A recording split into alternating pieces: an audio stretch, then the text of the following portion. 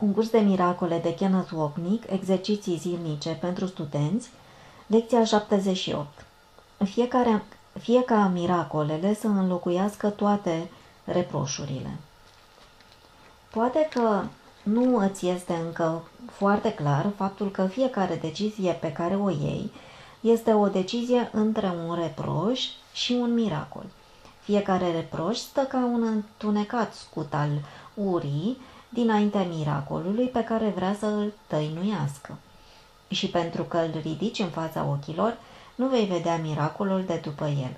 Însă tot timpul acesta, miracolul te așteaptă în lumină, pe când tu stai cu mintea ațintită la reproșurile tale.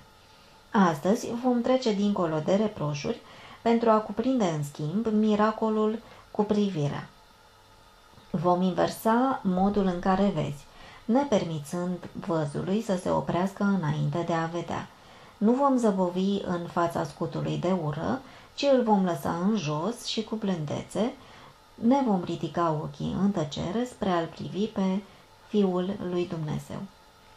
El te așteaptă din dărătul reproșurilor tale, iar acum când te vei lăsa de ele, el va apare într-o lumină strălucitoare, acolo unde odinu- odinioară a stat fiecare reproș, căci fiecare reproș este o piedică în calea văzului, iar pe măsură ce se ridică, îl vezi pe Fiul lui Dumnezeu acolo unde a fost mereu. El stă în lumină, tu ai fost însă în beznă. Fiecare reproș adâncea bezna și tu nu ai putut vedea. Astăzi vom încerca să îl vedem pe Fiul lui Dumnezeu. Nu vom mai admite să fim orbi pentru el. Nu ne vom holba la reproșurile noastre. Astfel, vederea lumii este inversată, pe măsură ce ne îndreptăm spre adevăr, lăsând teama deoparte. Vom alege pe cineva pe care l-ai folosit drept ținta reproșurilor tale și vom lăsa repulsiile deoparte privindu-l.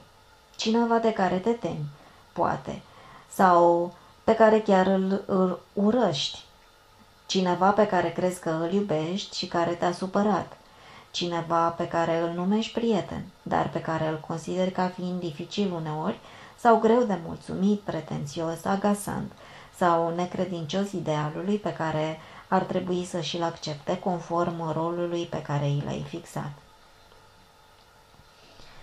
Știi pe care să îl alegi. Numele lui sau numele ei ți-a trecut prin minte. El sau ea va fi cel sau cea căruia sau căreia îi vom cere să-ți fie arătat Fiul lui Dumnezeu. Văzându-l pe el dinăuntru reproșurilor pe care le-ai nutrit împotriva lui, vei învăța că ceea ce stătea ascuns în timp ce nu îl vedeai se află în fiecare și poate fi văzut. Cel care ți-a fost dușman îți este mai mult decât prieten când este eliberat spre a-și lua rolul sfânt desemnat lui de către Sfântul Spirit. Lasă-l astăzi să-ți fie mântuitor. Atare îi este rolul în planul tatălui său și tatălui tău Dumnezeu. Perioadele mai lungi de practică de astăzi îl vor vedea în acest rol. Vei încerca să-l reții în minte.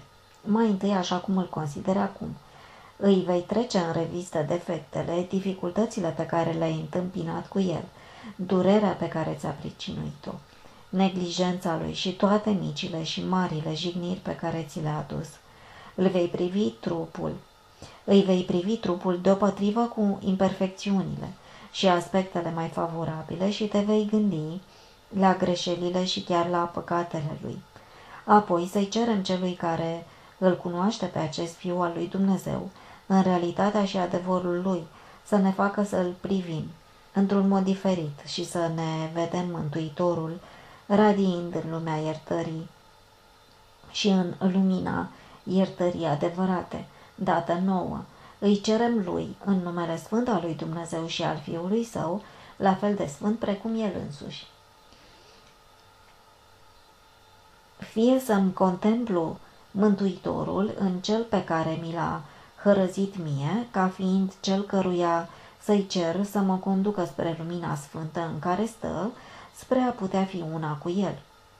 Ochii corpului sunt închiși și în timp ce te gândești la cel care te-a mâhnit, îngăduie ca minții tale să-i se arate, dincolo de mâhnirile și reproșurile tale, lumina din el. Ceea ce ai cerut nu poate fi refuzat. Mântuitorul tău a așteptat clipa aceasta de mult. El vrea să fie liber și să-ți doruiască libertatea lui. Sfântul Spirit se arcuiește de la el către tine, nevăzând nicio separare în Fiul lui Dumnezeu, iar ceea ce vezi prin el vă va elibera pe amândoi. Fii foarte liniștit acum și privește-ți strălucitorul mântuitor. Niciun reproș întunecat nu eclipsează priveliștea lui. A îngăduit Sfântului Spirit să exprime prin el rolul pe care i l-ai dat și rolul pe care i l-a dat Dumnezeu, pentru ca tu să poți fi mântuit. Dumnezeu îți mulțumește pentru aceste clipe liniștite de astăzi, în care ți-ai lăsat deoparte imaginile și ai privit miracolul iubirii pe care Sfântul Spirit ți l-a arătat în locul lor. Lumea și cerul se alătură spre a-ți mulțumi, pentru că nu este gând al lui Dumnezeu care să nu trebuiască să jubileze la mântuirea ta și a lumii împreună cu tine. Ne vom aminti de aceasta de-a lungul zilei și să acceptăm rolul desemnat nouă ca parte a planului pentru mântuirea lui Dumnezeu și nu al nostru. Ispita pleacă de la noi atunci când permitem fiecăruia pe care îl întâlnim să ne mântuiască și refuzăm și ascundem lumina în dosul reproșurilor noastre. Fiecare pe care îl întâlnești și aceluia la care te gândești sau care îți vine în minte din trecut. Îngăduiei să-i fie dat rolul de mântuitor ca să-l poți împărtăși cu el. Pentru voi amândoi și pentru toți cei nevăzători, deopotrivă, ne rugăm, fie ca miracolele să înlocuiască toate reproșurile.